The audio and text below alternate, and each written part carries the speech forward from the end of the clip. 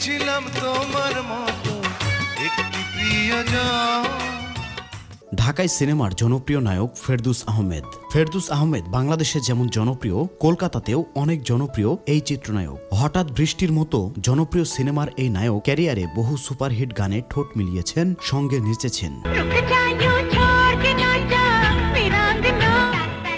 কিন্তু এইবার প্রথমবারের মতো একটি গানে কণ্ঠ দিলেন। একটি অনলাইন গণমাধ্যমকে এই চমকপ্রদ খবরটি দেন নায়ক ফেরদৌস। অভিনেতা থেকে প্রযোজক, চিত্রনাট্যকার হওয়া ফেরদুসকে এবারই প্রথম পাওয়া গেল গায়ক হিসেবেও। গত নয় ডিসেম্বর সন্ধ্যায় ফেরদুস আহমেদ গণমাধ্যমকে বলেন, বহু হিট গানে অভিনয় করেছি। এবার সত্যি সত্যি একটি গানে কণ্ঠ দিয়ে ফেললাম। অবশ্যই সুন্দর একটা অভিজ্ঞতা হলো, এটা বলতেই হবে। তবে কিছুটা নার্ভাসও ছিলাম। গান গাওয়া অনেক কঠিন কাজ। যারা গান করেন, তাদের প্রতি আমার গভীর শ্রদ্ধা। মূলত একটু নতুন অভিজ্ঞতা সঞ্চয়ের জন্যই গানটিতে কণ্ঠ দিয়েছি। কোনো ভুল ত্রুটি হলে অবশ্যই দর্শকরা আমাকে ক্ষমা করে দেবেন, এ আশাই করি। ফেরদুস আহমেদ আরও বলেন, তার সঙ্গে এই গানে দ্বৈত কণ্ঠ দিয়েছেন আরেক জনপ্রিয় গায়িকা দিলশাদ নাহার কণা। গানটির সুর ও সংগীত করেছেন জনপ্রিয় সংগীত শিল্পী ইমরান মাহমুদুল। তুমি কাছে এলে শিরোনামের গানটি তৈরি করা হয়েছে ঐক্য চ্যানেলায় মিউজিক অ্যাওয়ার্ড অনুষ্ঠানের জন্য। ফেরদুস আহমেদ বিংশ শতাব্দীর শেষ দশকে আবির্ভূত একজন জনপ্রিয় বাংলাদেশি চলচ্চিত্র অভিনেতা। মিট্টি নামে দুই হাজার এক সালে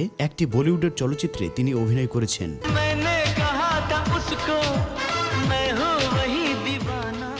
উনিশশো আটানব্বই সালে তিনি চলচ্চিত্রকার বাসু চ্যাটার্জি পরিচালিত হঠাৎ বৃষ্টি ছবিতে অভিনয় করে তুমুল জনপ্রিয়তা অর্জন করেন। আটচল্লিশ বছর বয়সী বাংলাদেশের জনপ্রিয় এই নায়ক এবারই প্রথম নিজের কণ্ঠে গান গেয়ে দর্শকদের সামনে হাজির হচ্ছেন। সিনেমাতে অভিনয়ের মাধ্যমে সারা ফেলে দেওয়া এই নায়ক গানেও কতটুকু সারা ফেলতে পারেন এটাই এখন দেখার। নায়ক ফেরদুসের গানের জন্য আপনারা কতটুকু অপেক্ষা করছেন অবশ্যই কমেন্টস করে জানাবেন। সবার আগে সত্য নিউজ পেতে মিডিয়া নিউজ বাংলাকে সাবস্ক্রাইব করুন।